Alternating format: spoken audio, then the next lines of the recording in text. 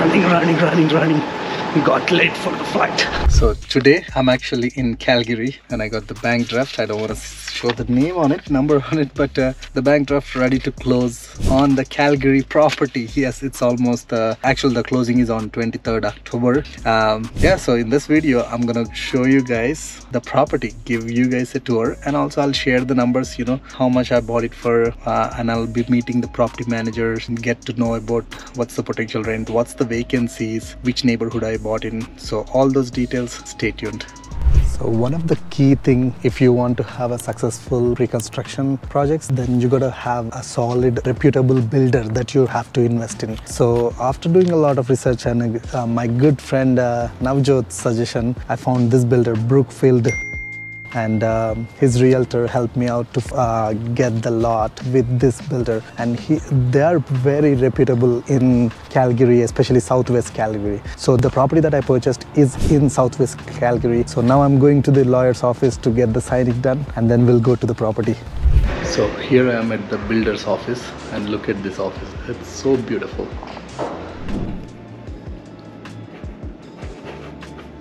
Okay, yep here you go. perfect. I'll give you that other half. Finally, here I am in the neighborhood. These are all the Seton Villa Street. Okay, so here we are. This is our property. The black and white combination, complete vinyl siding with a front deck. Main floor plus the second floor is the upper unit and the side door for the basement unit. Of course, there is a parking in the back. Okay, so let's go see.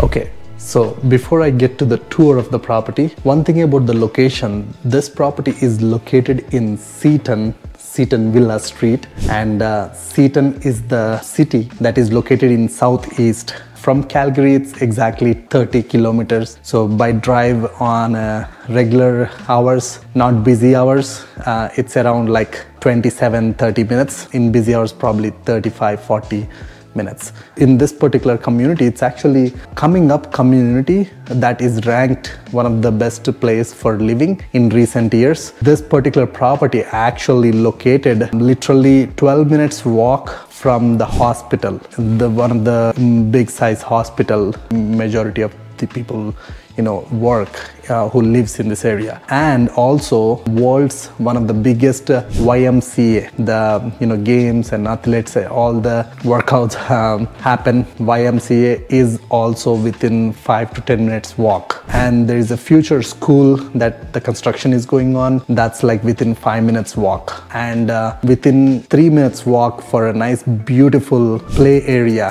where you there is a skateboard playing area and uh, basketball and some swings for kids. And also uh, beside that there is a small shopping complex convenience store dairy queen and some features. And on top of it there is all the major restaurants banks shopping malls, Cineplex, Shoppers Drug Mart, CIBC, RBC, all different uh, malls are actually just uh, literally four minutes drive from here. So it's it's very convenient uh, location for people to live in this neighborhood. Okay, so let's go with the tour. So to start with, that's the main entrance as soon as you enter you can see like nice beautiful door. Pretty standard i would say. Uh, but triple pan that's something i like it. So the sound doesn't get into the house that easily. And i like this feature here like as soon as you enter you have this office area and look at this door. So they can like they use the space very well. So if you're working busy you don't want your kids to come inside just close the door. And you're open to talk when you're working or you want your guests to come in. So it's a it's a cute like 8 by 10 ish office area. It's a fourth room in the house. And then we go upstairs. So it's a two story home with a legal adu there is three bedroom two bath with a master bedroom ensuite upstairs. So we'll, that we'll check that in a second. But also we have the powder room here for the guest. So this is a pretty standard. One thing i didn't like i wish they gave me a little bit nicer vanity and then very nice vinyl flooring on the main floor but in the second floor it's all standard carpet I chose the paint color nice and light gray. Um, the my most favorite thing in this house is this area. This is something that I really really loved it because if you look at pretty damn huge living area and with a big pa- patio door. Of course, I have to install the patio and then look at this kitchen.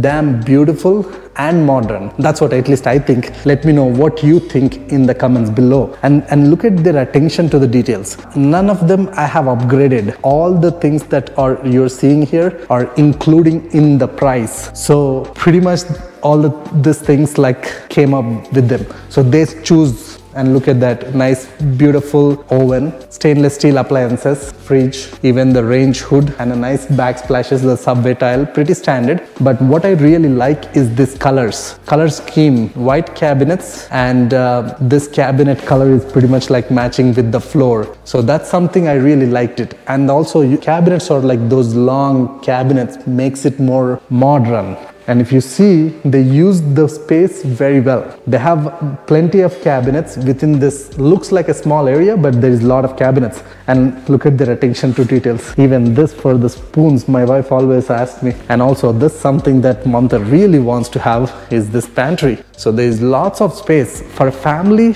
this is very good enough area with all the features and the dining area too. Like you have a huge living area and the dining area. And of course you have two car parking in the back. So let's let me show you this here before we go up and the basement. So look you have the uh, unfortunately in here in calgary they don't do the concrete. They said they put the gravel and he said it's pretty much good enough um, to have. So they're not worried.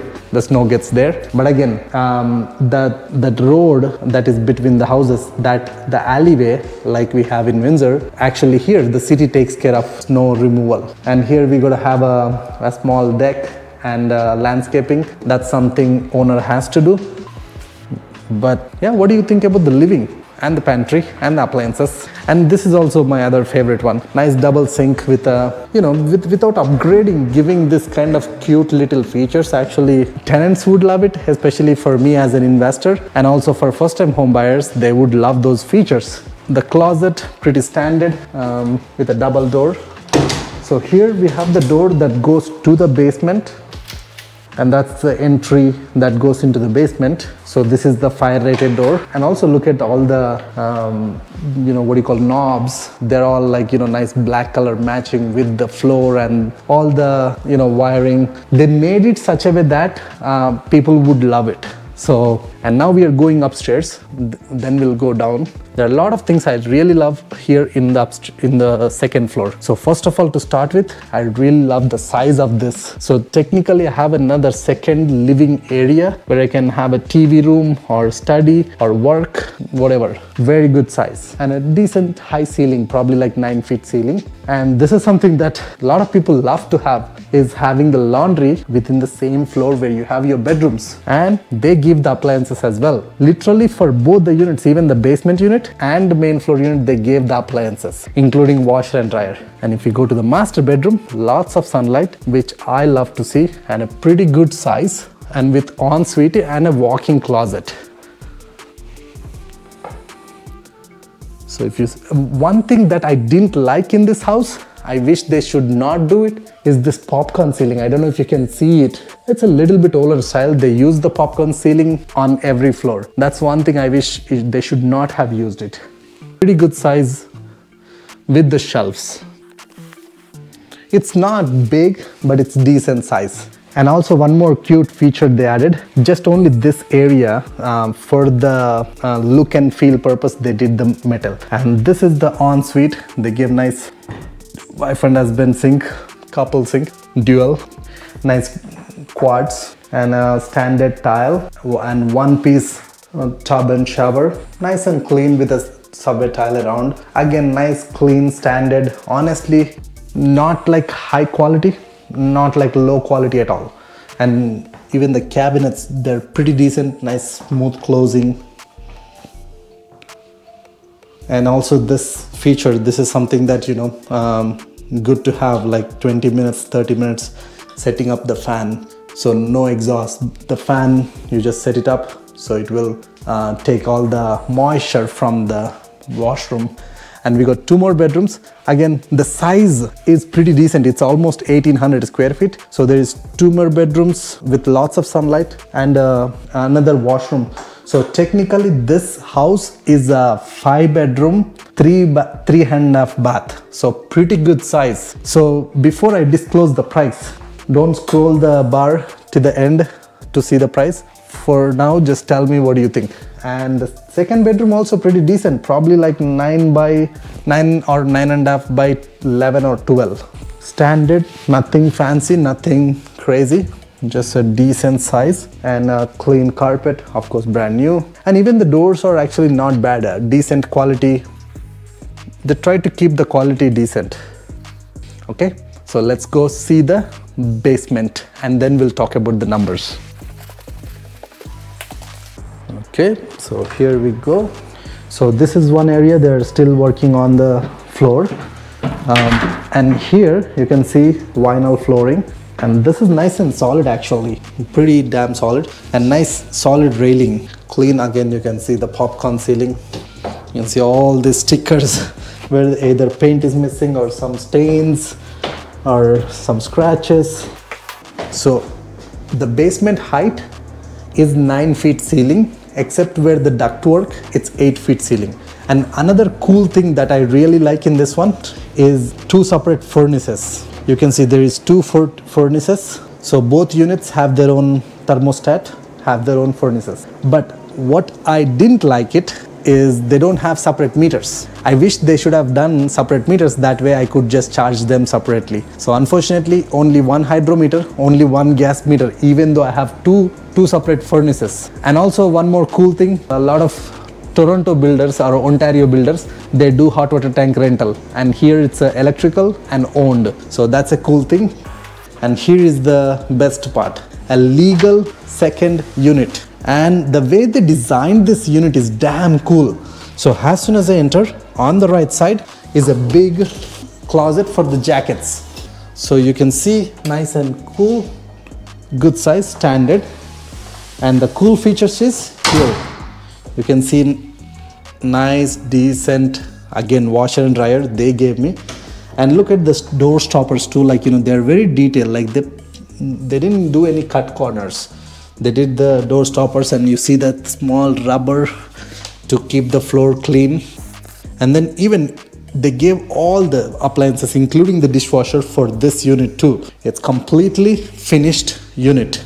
And of course like i mentioned it's a legal. And where you see that bump there it's 7 feet ceiling and where you don't see that it's a 8 feet ceiling so look at the kitchen pretty good cabinets and it's a one bedroom one bath and a kitchen with an open concept living and dining.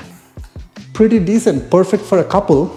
And on top of it, they added this additional space, kind of semi finished. They didn't do full finishing, but lots of storage.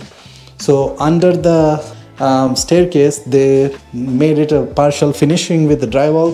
If you if we want we can put a floor in future and just paint that. Uh, even without that still they can put all their unnecessary storage stuff. So pretty good storage option for this size unit and nice standard like same whirlpool uh, same appliances same company with the warranty. They got all the appliance warranties and nice backsplashes and a nice decent colored cabinets like you know smooth closing as well which i like it.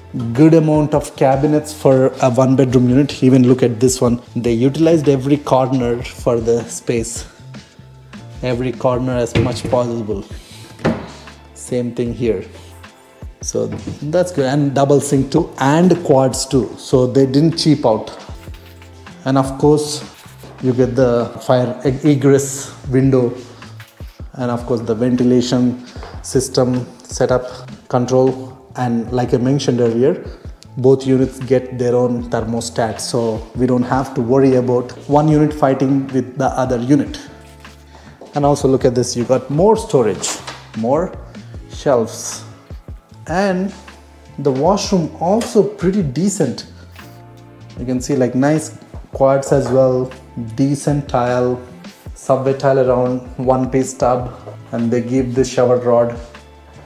Here they install the fan along with the the ventilation. So they have an option to select for 30 minutes or 60 minutes. Not that much noise. Not too bad here. Again what do you think so far and also last and final the bedroom. We kept the closet open. So nice decent probably like 10 by 11 ish bedroom size and with a big window. So yeah that's pretty much it with the tour.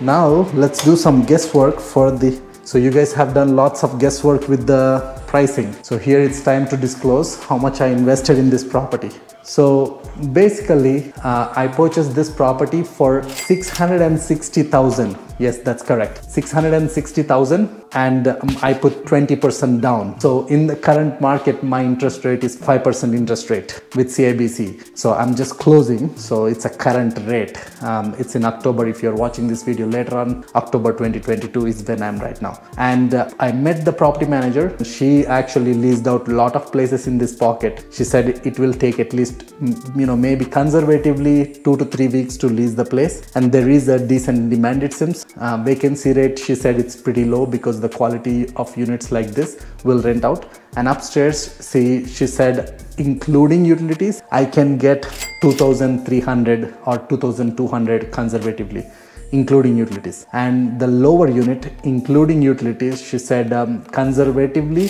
1400 or very conservatively 1300 and out of this rent probably four to five hundred dollars is my utilities. So my net income will be three thousand dollars or three thousand to three thousand two hundred. That's the projections right now. So my mortgage per month is two thousand seven hundred ish so pretty much right now i'm not gonna be break even. Probably i will be minus 100 to 300 dollars including the insurance property tax. I don't know how much the property tax is going to be. I'm assuming that it's going to be 4000 give or take. And insurance it's a new property so you know not that much. And the good thing with this brand new property with this builder they give two years warranty for pretty much all the cosmetic things you know anything that wear and tear and uh, 10 years for the structural and other warranties for like 4 years or 5 years. So decent warranty because of the good people and the community is growing personally that's why i loved um, i was excited to invest into it. And actually my wife was kind of thinking maybe let's move here for a few months. I don't know. And let me know what kind of other content that you would love to see from me. Let me know in the comments below. If you enjoyed this tour